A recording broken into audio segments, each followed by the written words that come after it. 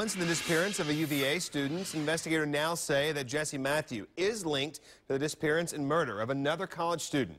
Virginia police say forensic evidence connects Matthew to the 2009 disappearance of Morgan Harrington, a student from Virginia Tech. She was visiting the University of Virginia for a concert when she went missing.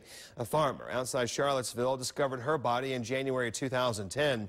Last week, Matthew was charged with Hannah Graham's disappearance. She was last seen with the suspect on September 13th.